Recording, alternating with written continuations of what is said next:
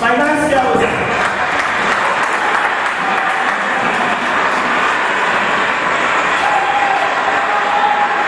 bá dùn ẹ̀yin bàbá wa àti màmá wa ẹ onítàwọn ọ̀pọ̀ ṣe máa ń ṣe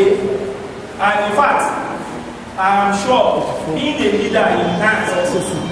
because last week as you were lábẹ́kúta tí mo bá wọn ṣe meeting gbogbo wọn dance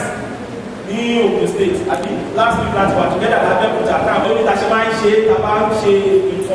fún un sómi lè fẹ́ ká ẹ má bínú o ẹ má join wa because ètò yìí ètò àwọn ọ̀dọ́ ni our aspirant la ní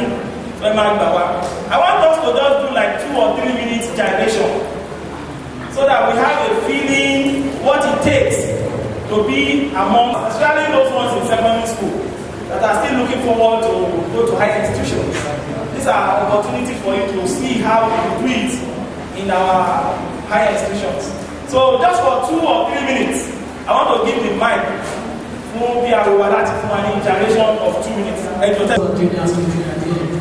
I wish to appreciate you, our leader by excellence, Dr. Lecturer